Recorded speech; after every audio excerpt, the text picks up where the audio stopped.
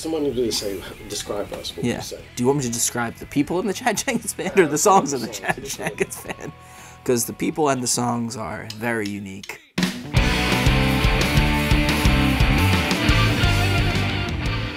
This project started as hired guns putting Chad's first record together, and uh, we're more like an ensemble. This guy lays a foundation for him to blast, and this guy lays a foundation for him to blast.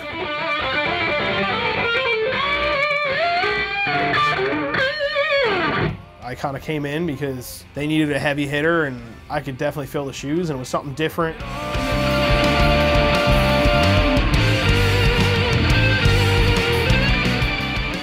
I see what's already here. All right, it's developed. Okay, well, how can I add to it? It's really it's the end game with all of us. You know, the end product with all of our little tags on it.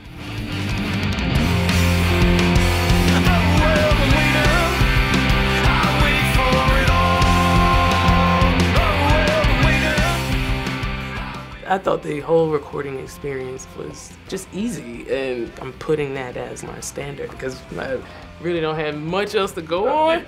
But, you know, at this point, that's a really high mark to start, guys. Sorry.